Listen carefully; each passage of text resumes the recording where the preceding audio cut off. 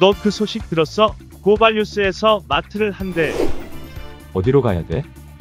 가긴 어딜까? 인터넷 쇼핑몰이라고. 포털에서 고발마트를 검색해봐. 어마어마하게 많은 제품들이 은하계 최저가로 공급되고 있어. 고발마트 함께 해주시면 정말 감사하겠습니다. 고발마트에서 만나요. 첫 번째 미디어 담화부터 시작을 하겠습니다. 지금은 장도리가 필요한 시간이다. 이 장도리가 오늘 미디어 담화의 주제입니다. 자, 미디어 담화. 앞담화, 뒷담화, 옆담화. 어, 다 저희가 정리를 해드린데요. 어, 코로나19와 관련돼서 저희가 어, 뉴스를 정리해드리는 게 좋을 것 같습니다. 지금 CBS가 어제 셧다운이 돼서 부분적으로 해제가 되고 있다고 말씀을 드렸죠. SBS가 상암동에도 사옥이 있거든요. 그 사옥도 셧다운이 됐다고 합니다. 어린이집 어, 교사가 확진된 관계라는데요. 지금 속보가 들어왔네요. 어, 지금 사회적 거리두기 3단계에 준하는 조치가 내일부터 서울 전역에서 시행이 된다고 하는데 좀 검색을 좀 해보겠습니다. 음,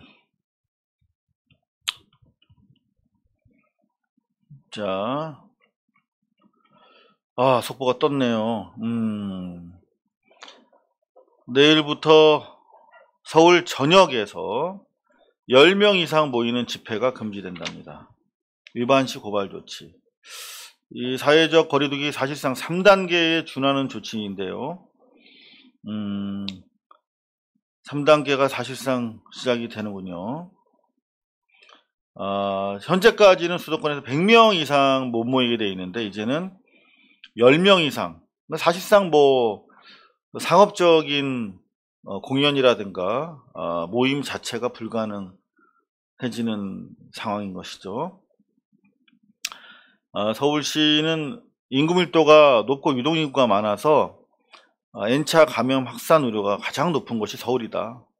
어, 선제적으로 어, 코로나19 확산을 차단하기 위해서 이같이 결정을 했다. 음, 아, 이러면 자세한 소식은 이제 중간에 들어오는 대로라도 어, 알려드리도록 하겠습니다. 이게 어, 사회적 거리두기 3단계가 되면 이제 5개 활, 스포츠 활동도 불가능하거든요. 그러면 지금 간신히 어, 제한적으로 관객을 드리고 어, 하던 뭐 프로야구, 프로스포츠 지금 관객 없이 어, 게임을 하고 있었는데요. 이렇게 되면 아예 이것도 불가능해지는 것이 아닌가 그렇게 우려가 되는데 어, 추가로 확인되는 대로 여러분들께 말씀 드리도록 하겠습니다. 아, 좀 심각한 상황이네요. 어, 미디어 뉴스인데요. 언론사들도 어, 지금 일제히 재택근무 체제로 돌입을 하고 있다고 합니다. 어, 지금 편집국이 텅 비어 있는데요. MBC 지금 시행 중이고 재택근무, SBS 마찬가지입니다. KBS도 확대하겠다고 하고 있고요. 국민일보, 경향신문, 중앙일보, 서울신문, 세계일보, 한국일보 재택근무를 권고하고 있다고요. 음, 음, 이게 언론사가 이 정도면 일반 기업들도 마찬가지일 텐데 재택근무가 이게 아 사실상 이렇게 되면 경제가 올스톱하게 되는 거거든요. 다 이제 집, 집에 콕 박혀가지고 나오지 않으면 당장 소상공인들은 그나마 아, 줄어드는 손님 자체도 거의 떨어지게 된다는 얘기고요. 방통심의위가 그나마 지금 가짜뉴스 엉터리 보도를 심의해야 되는 곳인데 여기에 야당 측 추천 인사로 이상로라고 있어요. 네. 황석영님 감사합니다. 어, 코로나 조심하십시오. 이 야당 측 추천 인사 MBC 카메라 기자 출신의 이상로 씨, 뭐 공, 정방송 들어가는 어, 그런 냄새나는 노조 위원장 출신이죠. 이 양반이 광화문 집회에 참석을 했나 봐요. 그런데 얘기를 안 했어. 그래서 지금 뭐 방통 심의까지 올스톱하게 생겨 있어요.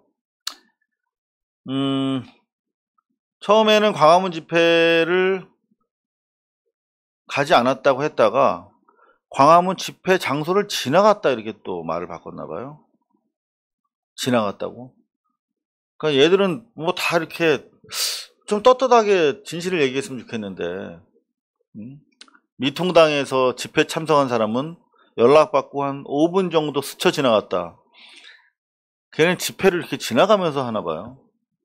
음? 이상로 의원 온몸으로 태극기 모독 부대와 함께하는 사람인데 그냥 지나갔다고 하네요. 근데 방통위 관계자 A씨는 이상로가 광화문에 갔다는 기사를 보고서야 알았다. 그러니까 뭐 지금 어 직원들 전혀 격리 조치를 취하지 않고 있는 거죠. 그러니까 이런 게 저는 태극기 모독 부대들이 하, 저는 절대 보수라고 안 부르거든요. 보수는 뭡니까? 민족을 숭상하고 일제 마지막까지 한거하는 김구나 어, 뭐 그런 분들이 보수주의자입니다. 그리고 보수는 공동체를 우선시하는 사람들이잖아요. 근데 자기가 잠시 그 집회에 참석한 거를 모면하겠다고 거짓말하고 정작 이 직원들 격리가 안 되면 이 사람들 다 피해를 입잖아요. 주변 사람들이 이렇게 피해를 주는 건 절대 보수 아니거든요. 자, 그런가 하면은 어제 저녁에 대단히 골 때리는 기사가 하나 떴어요. 명정행인이 감사합니다. 진짜 이게 어? 이게 누구 얘기 같아요? 시사저널 단독인데 경찰이 인천 지역의 전 국회의원을 협박 혐의로 조사하고 있대요. 누가 떠오르십니까? 민모, 민모, 경욱. 네, 맞습니다. 민경욱 얘기입니다. 어, 골 때리잖아요. 민경욱 의원이 출입문을 열어달라며 가족에게 둔기 사진을 전송했어. 제가 이 민경욱 이 양반을 제가 한 30년째 알고 지내요.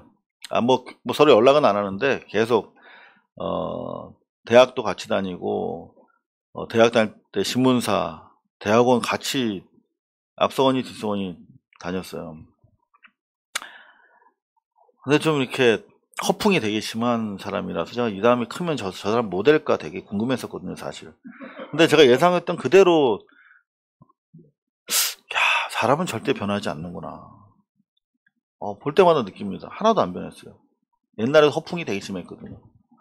근데 이게 뭐냐면, 민경욱이 그 전반수 집회에서 뭐 마이크 같이 썼잖아요. 앞뒤로. 응? 그거 이제 본 거야. 이 사모님이 산부인과 의사예요. 집안도 되게 좋아.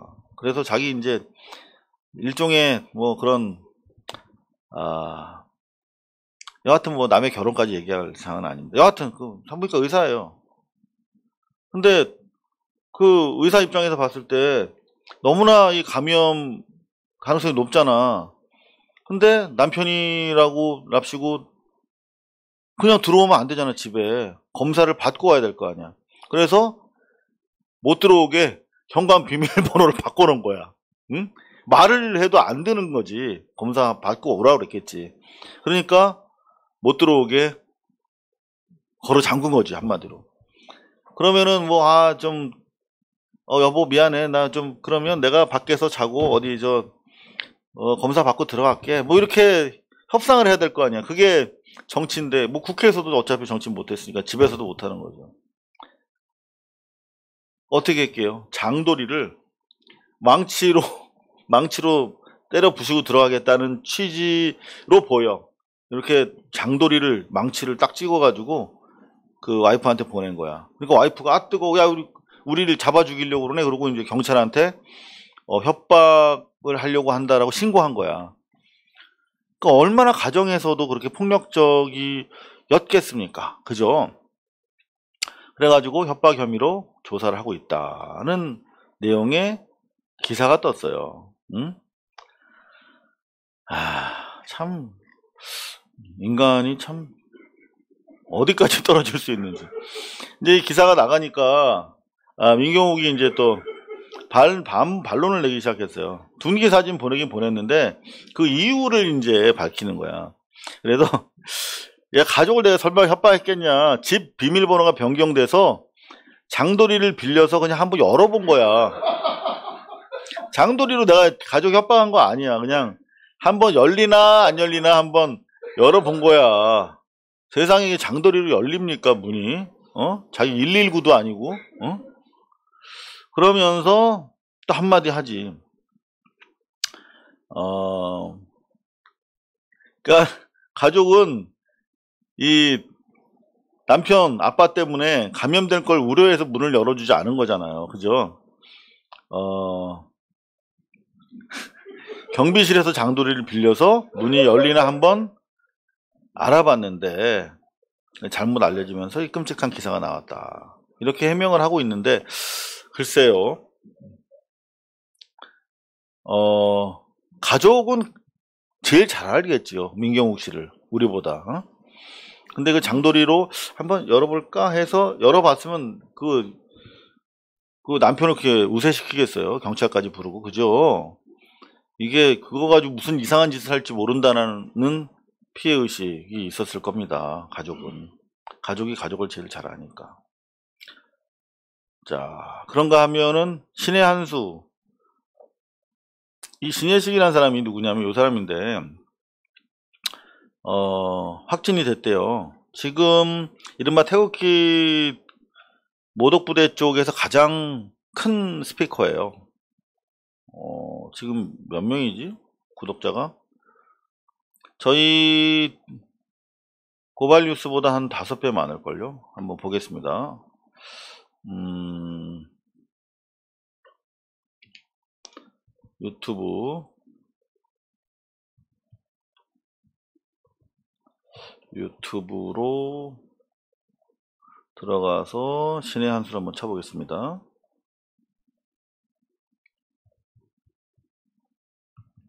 신의 한수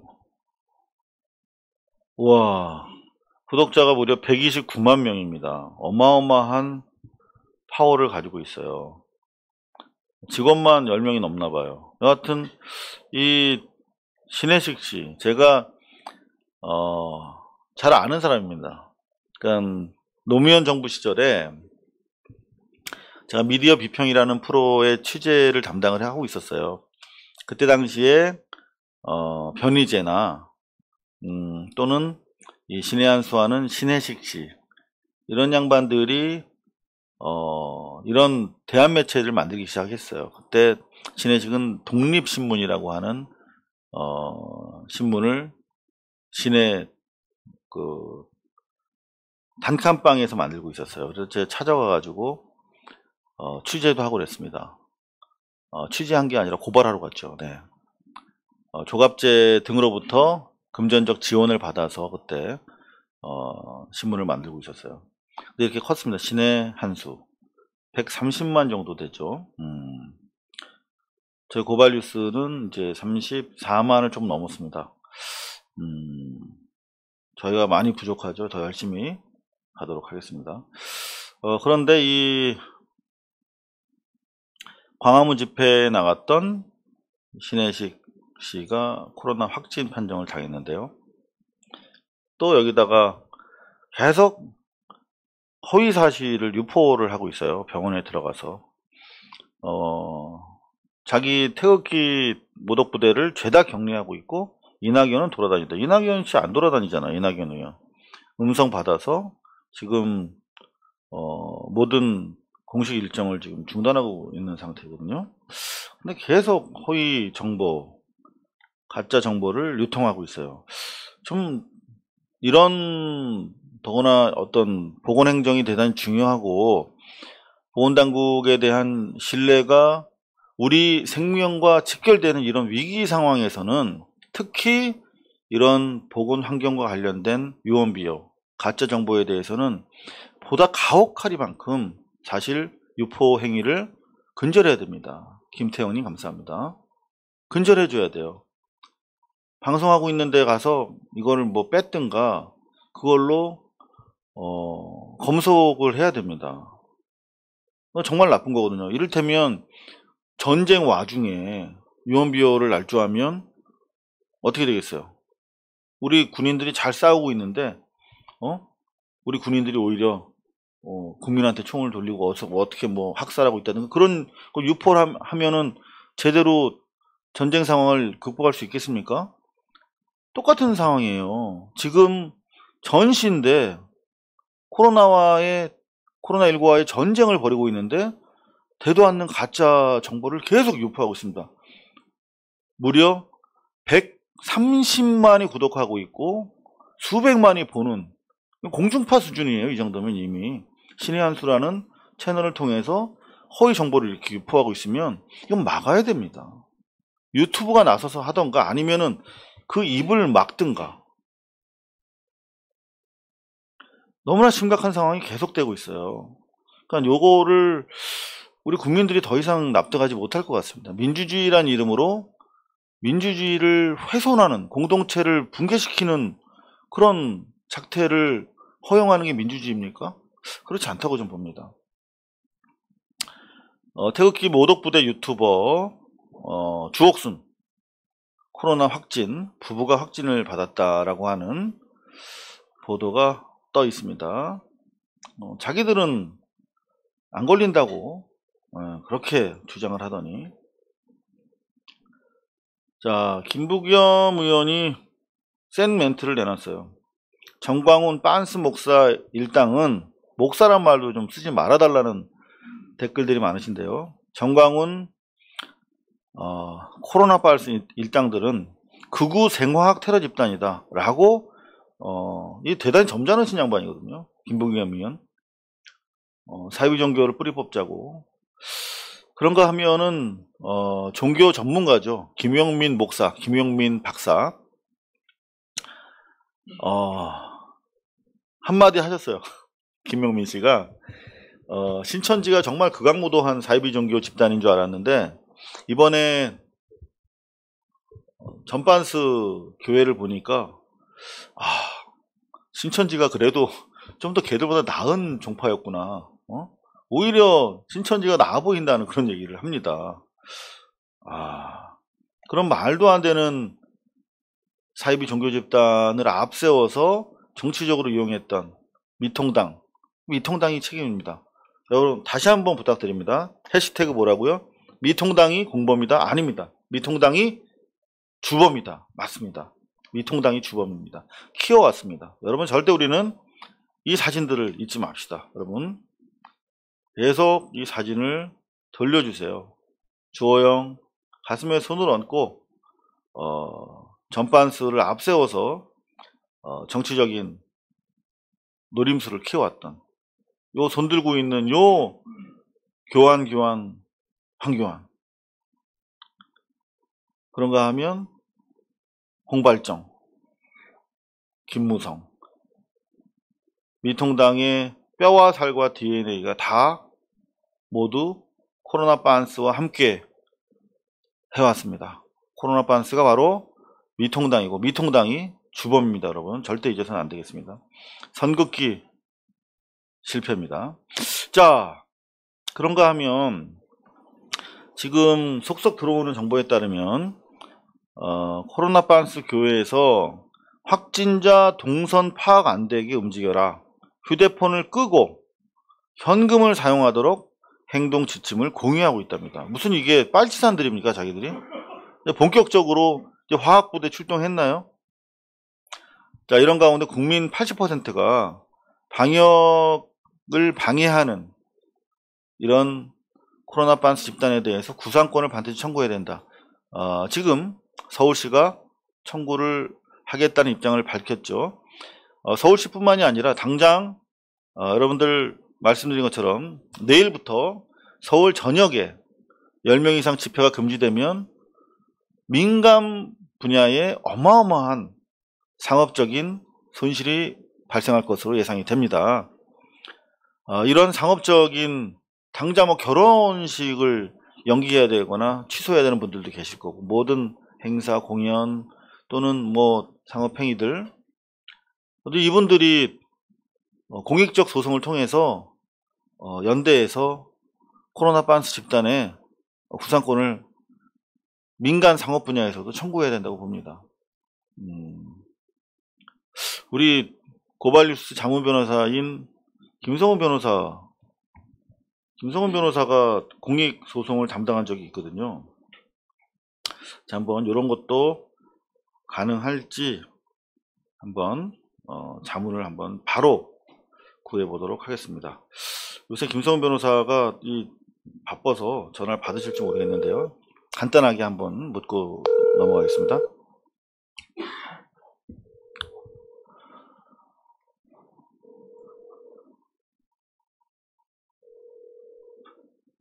네, 지금 뭐 아무래도 재판에 어, 들어가 계신 것 같은데 확인해서 여러분들한테 보고를 드리도록 하겠습니다. 그런가 하면은 뉴스원이 어, 상업 통신사인데 이제 빤스 목사, 빤스 교회에 화가 많이 났나 봐요. 그 전에는 상당히 좀 어, 유화적인 제스처를 보이더니 어, 강력한 기사들을 계속 쓰고 있어요. 이런 기사도 있네요. 너도 걸려봐라 라며 보건소 여직원을 껴안고 심까지 뱉었다고 그래요. 빤스 교회에서. 검사 요구를 불응하니까 지금 어, 한 700명 정도가 불응하거나 연락 두절 상태라는 거 아닙니까? 700명? 저는 더 될 수 있다고 생각해요.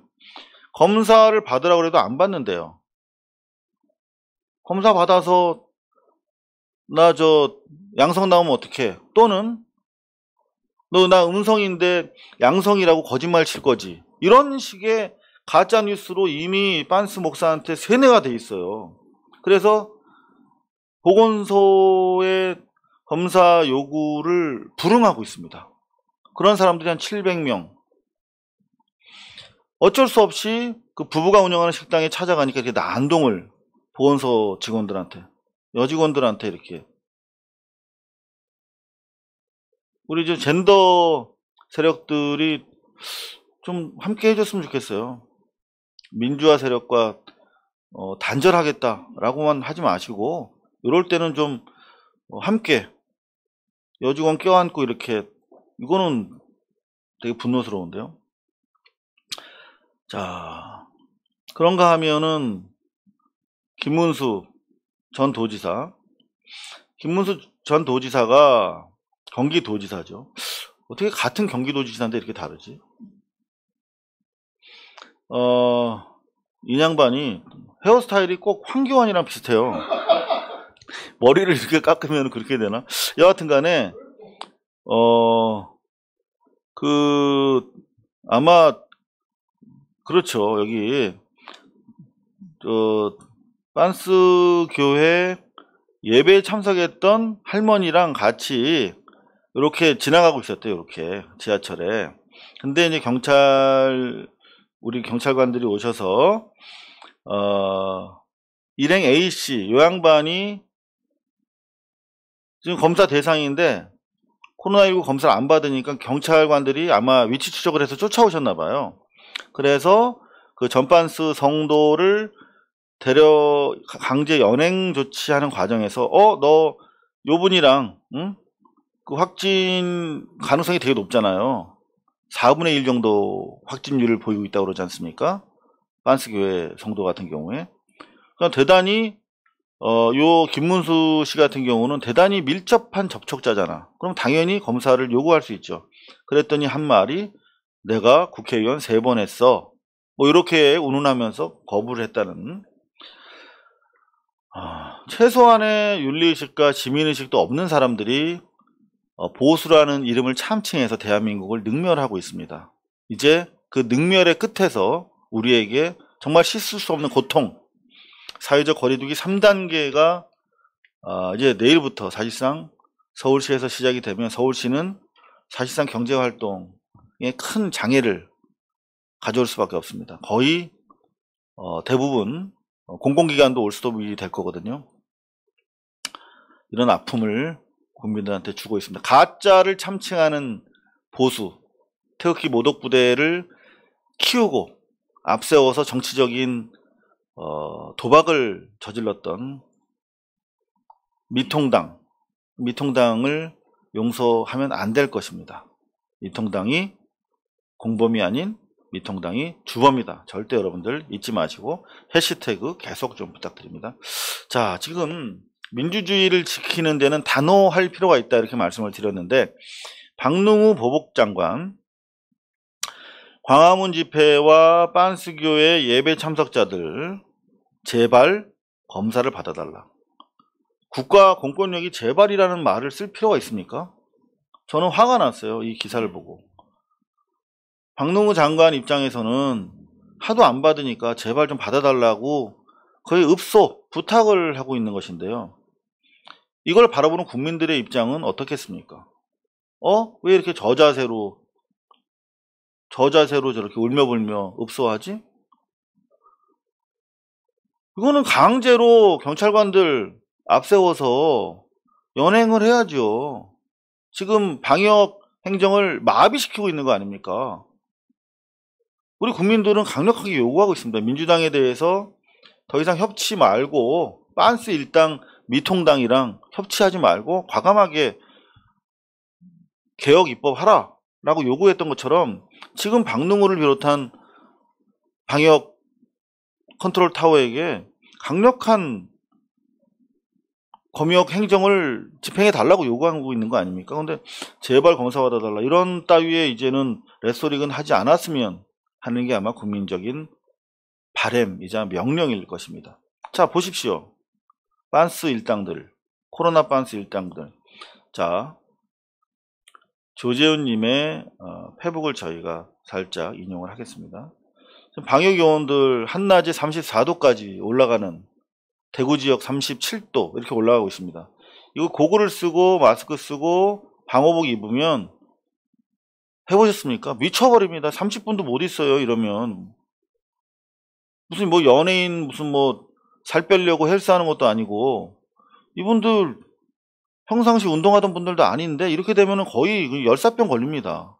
이거 안에 땀이 송글송글 맺힌 거 보십시오. 너무 가슴이 아픕니다. 근데 이분들 반스교회에 가서 이거 방역하겠다고 하는데 가서 이 멱살 잡히고 있잖아요. 멱살. 응?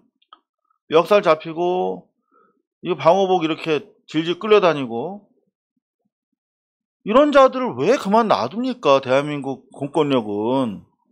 응? 몰대포로 사람 죽였던 자들 아닙니까? 공권력이. 민주정부가 그렇게 만만합니까? 몰대포로 사람 죽이라는 건 아니잖아요.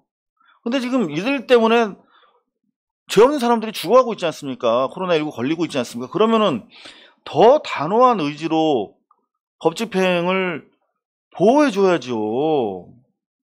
이게 뭡니까, 이게? 이렇게 멱살 잡히고, 이, 음? 고생하는 방역 의원들 보호는 최소한 해줘야 될 거 아닙니까? 공권력이.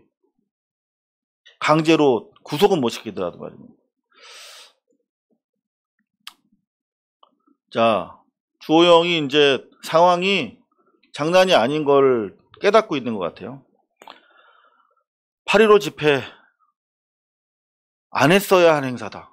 오늘 이렇게까지 아, 물러나기 시작했습니다. 어제까지만 해도 우리 당이랑 상관없다라고 거짓말하면서 다른 한편으로는 갈라치기 했죠. 조선, 조선일보랑 똑같았어요. 다른 한편으로는 그 집회는 정당했다. 문재인 퇴진 그 집회는 정당했다. 하지만 우리랑 직접적 상관은 없어. 라고 발뺌을 했는데 계속 국민들이 아니야 웃기지 마. 너희들은 한 몸이잖아. 라고 계속 해시태그를 통해서 압박하니까 그리고 이 김종인이 했던 거짓말 8.15 집회랑 자기들이랑 무관하다고 했다가 8.15 집회 사실상 당원 스스로 참여하고 싶은 건 자유롭게 참여할 수 있는 거다라고 독려했던 그리고 실제 태극기 모독 부대 집회에 상당수가 그러니까 전반스 목사 교회 또는 그 관련 교회 성도들 신도들 아니면 미통당 당원들이 대다수였거든요. 그러니까 이제 자기들이 이렇게 독려 참여를 독려했다는 사실이 드러나니까 더 이상 거짓말하기 어려운 상황이 된 거죠. 그래서 이제 선을 꼬리를 자르고 나가려고 합니다. 8.15 집회 안 했어야 할 행사였다. 나쁜 행사였다. 해선 안 됐다.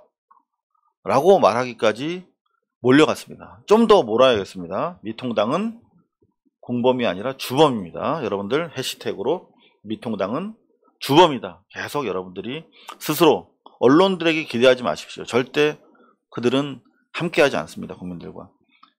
우리가 언론이 돼야 됩니다. 미통당이 주범이다. 이렇게 여러분들 SNS에 아, 널리 알려주시기 바랍니다. 자, 지금 서울시는 어, 사실상 내일부터 10명 이상 집회를 금지하는 위반식 고발하는 사회적 거리두기 3단계에 준하는 어, 조치가 시행이 되는데요. 음, 경기도는 어제부터 빤스 교회와 광화문 집회 참석한 미통당, 아마 주로 미통당이겠죠. 미통 당원들 검사 행정명령을 내렸습니다. 너네 이제 어, 검사 안 받겠다고 하면 법적으로 조치하겠어 행정명령을 내리기 시작했습니다. 어제부터 여기를 보면은 진단검사를 거부해서 자신으로 인해 감염이 확산될 경우에 역학조사 과정에서 빤스교회 교인과 광화문 지역 참석한 태극기 모독부대와 미통 당원들이겠죠. 행정명령 이행죄로 처벌된다. 그리고 관련된 방역 비용이 구상 청구된다. 행정명령 이행죄로 처벌되는 것보다 더 어, 저들이 무서워하는 건 돈입니다. 돈. 전반스도 결국 돈 때문에 벌인 일이거든요. 방역 비용이 구상 청구된다. 요거 대단히 무서워할 겁니다. 빨리 자발적으로 검사 어, 받길 바랍니다. 자, 그런가 하면은 코로나와 상관없이 어, 요거 하나 마지막으로 미디어 담화해서 전해드립니다. 자, 지금 남북 교류 협력법을 통일부가 개정하려고 그래요. 어, 이제 미국 눈치 안 보고 지금 미국이 주도하는 이른바 유엔 제재 때문에 남북 간에 최소한 필요한 교류도 못하고 있지 않습니까? 응? 무슨 뭐 의약품, 인도적 의약품 보내주려고 그러면 야 트럭은 보내면 안 돼. 무슨 뭐 보내주려고 그러면 노트북은 컴퓨터는 안 돼. 뭐 이런 식이거든요. 그래서 통일부가 과감하게 어, 이인영 체제 하에서 개정을 추진하는데 외교부들이 외교부가 지금 맡고 있잖아요. 외교부는 정치 성향을 한마디로 반기문 생각하면 됩니다. 그러니까 외교부는 이른바 국제 질서 속에서 그 유지돼야 자기네 밥줄이 계속 되는 거잖아요. 그래야만 자기들이 외국 가서 어 그야말로 치외 법권 군림할 수 있는 거거든. 외교관의 지위를 유지받을 수 있는 거거든요. 그러니까 제가 외교부를 출입하면서 정말 놀랐던 거예요. 그러니까 한국 물정에 대해서 정말 모릅니다. 그러니까 미국에서 살면서 국내에 있는 집으로는 재택하고 거기서 체제 비용이 나오잖아요. 그리고 엄청난 특권들이 계속 주어지잖아요. 그러니까 외교부 공무원들은 또 더구나 온, 그 1급지들 있잖아. 미주나 뭐 구주나 일본 이런 쪽에 가면 또 자녀 교육도 해결되고 그러니까 부가 대물림 되는 것이 아니라 요즘에는 교육이 대물림 돼 버리는 거잖아요. 그렇죠? 국내에서 잠깐 온탕 냉탕이라고 그러거든요. 국내에서 잠깐 멈추술이다 또 다시 외국 나갑니다. 그러니까 이런 관료 중에서 가장 아마 관료주의가 강한 게 외교부입니다. 그래서 이번에 어, 47살의 연세대학교 이른바 뭐 연정 라인이라고 불리는 어, 젊은 신예 비서관 출신의 어, 차관을 보냈죠. 음, 그랬더니 외교부가 지금 난리를 치고 조정동을 앞세워서 뭐 강한 저항감을 표시하고 있는데 어, 아마 이런 외교부 내에 관료주의의 경정을 올리기 위해서 차관을 보낸 것 같아요. 그렇게 여하튼 어, 외교부가 상당히 거부를 하고 있는데 그거를 KBS에서 잘 짚어줬어요. 어, 통일부가 북한의 장관이 북한 맘먹으면 북한에 사무소를 설치할 수 있게 한 조항을 만들었는데 이게 유엔 제재에 저촉될 수 있다 라고 또 외교부에서 틀고 있는 거죠. 음, 여하튼 그럼에도 불구하고 제재에 지금 묶여가지고 한 발짝도 움직이지 못하고 있으니까 국내 입법권은 우리 주권의 문제다 라는 입장을 가지고 통일부가 드디어 움직이기 시작했습니다. 이건 계속 저희가 어, 살펴드리도록 하겠습니다. 지금까지 미디어 담화였고요. 고발뉴스는 여러분의 자발적 후원에 힘입어 운영되는 대한매체입니다. 자본과 외압에 흔들리지 않는 언론으로 키워주십시오. 후원 신청은 지금 고발뉴스닷컴에서 접수 중입니다. 여러분의 많은 참여를 부탁드립니다. 감사합니다.